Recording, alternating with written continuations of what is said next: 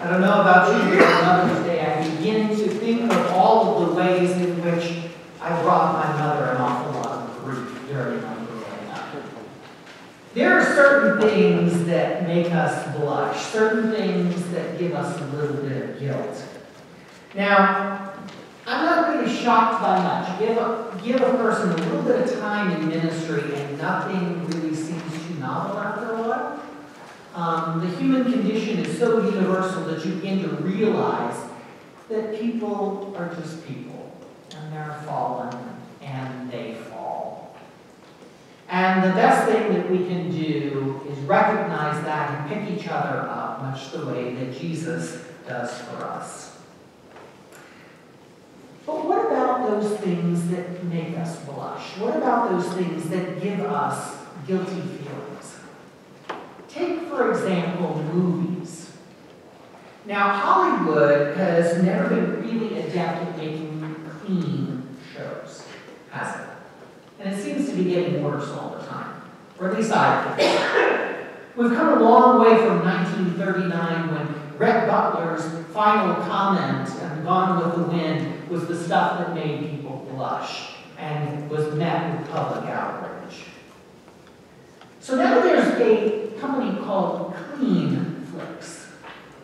And all you have to do is send them a movie with any sort of questionable content, be it profanity, be it nudity, be what it may. And they will edit it for you and send it back to you in a way that's edited and cleaned up. Your movie arrives without its problems and emerges a model of propriety that you are able to show either your five-year-old nephew or your 98-year-old grandmother without blushing. Now, some movies have a lot more to edit.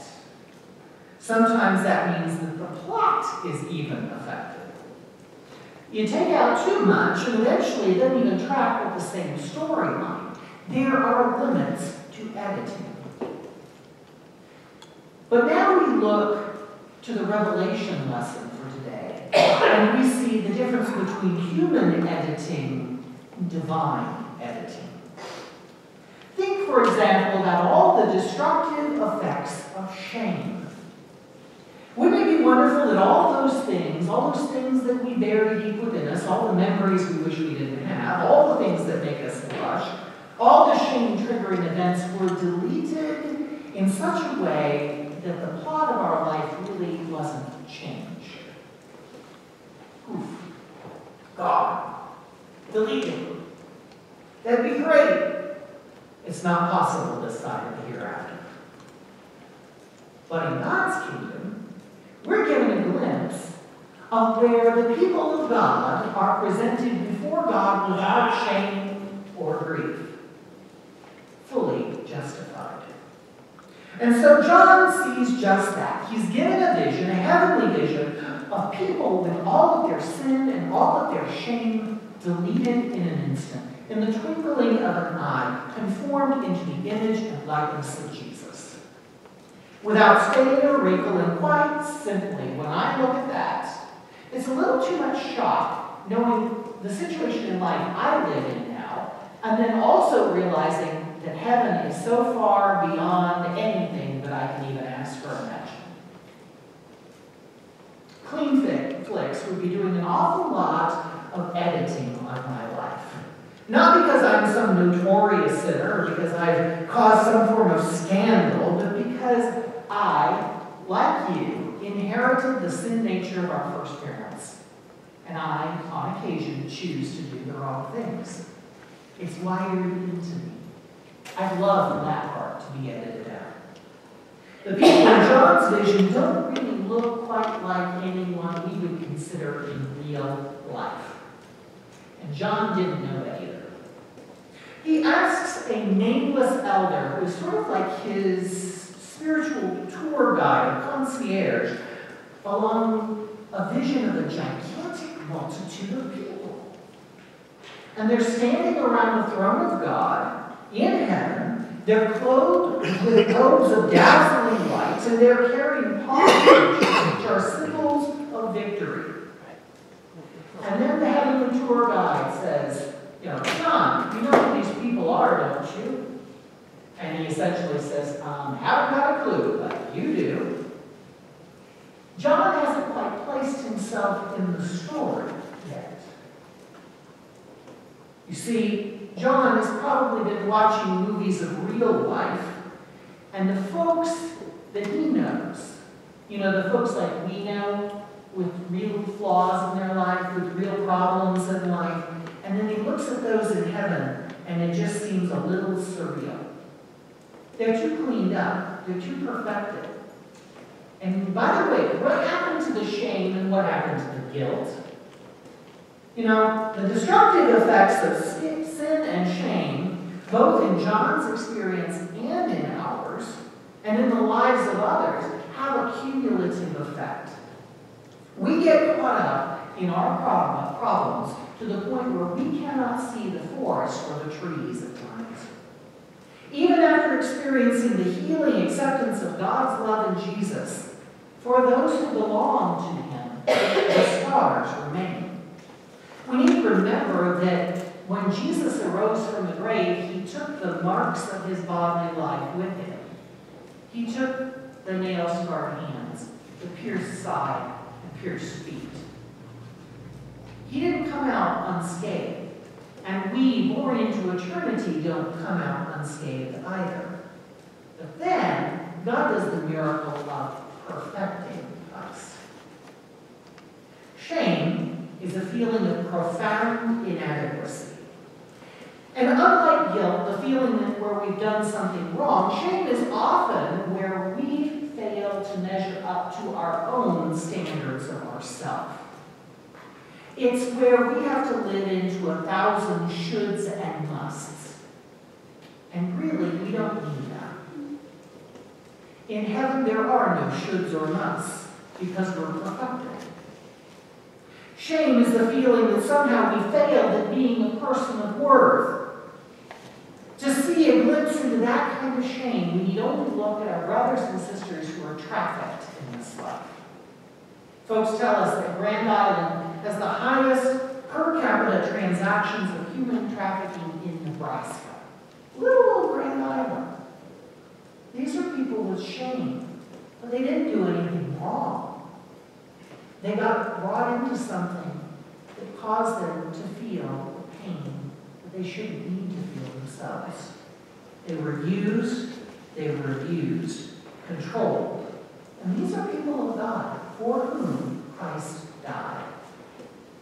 Though for many of us, the burden of shame is a lot less profound than those of trafficked people, traces of shame continue to overshadow our lives, even after we've experienced the healing acceptance of Jesus.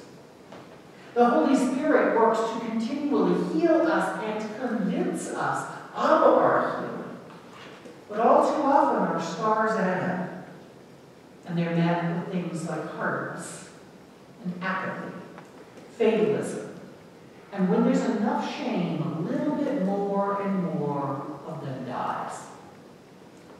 Some people live with their shame to the degree that it almost seems to define who they are. I mean, how many of us know these people who say, I'm not thin enough, I'm not rich enough, I'm not smart enough, or sadly, in the church, I'm not holy you know, that's a big barrier between the people outside these walls and the people inside these walls, as we realize here, we're not holy enough, and that's okay. And we always have room for somebody else to experience that same longing for holiness that we are. But this is the good news. The shame and the pain have an end. Because the glimpse that John gets of the huge crowd of white-robed people standing around the throne turns out to be God's answer to the problem of shame. The deepest longings of our hearts. It's a picture of the final answer to the problems that beset us. In Revelation 7, we see God's picture, God's duty, God's work, God's transformation. These are they who've come out of the great ordeal. This elder is giving a glimpse of something absolutely huge. A ridiculously large number of people. This is not a small little remnant here. This is the fullness of the kingdom. And in a life infected with sin and shame, the joy of so many out of every people, language, tongue, and nation. And all too often we only get a little glimpse of it. So we're talking about God's people throughout all time, in all places and corners of the world. And they're doing the work of ministry in God's presence with their heads held high, with tears wiped away, with all traces of sin and shame gone. And we're on love and peace and fulfillment, what the Hebrew race called shalom abide. That's the core of the gospel. God brings his people through the ordeal in order to meet them with perfection. Death and sin and shame cease. They have an expiration date. And God brings his people through death into life. Real life. Life we have no clue even about at this point. When it comes to shame, we will finally be rid of. And God's people will bask in the presence of all of those things, the, the junk that collects upon us through our life left behind. Now, the true test of any biblical story is can we put ourselves there? You know, that's an exercise for you as you're reading the Bible, and you we often think of this as Bible times or future times, but put yourself into the context of the story and say, can I see myself there? Look closely, because it's our family picture. And we're there, or will be.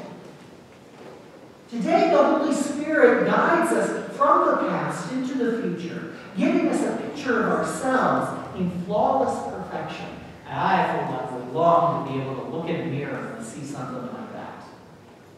That's good news. And when we belong to Jesus, we are not beset by sin and shame. We've been liberated from that with the eraser of his blood.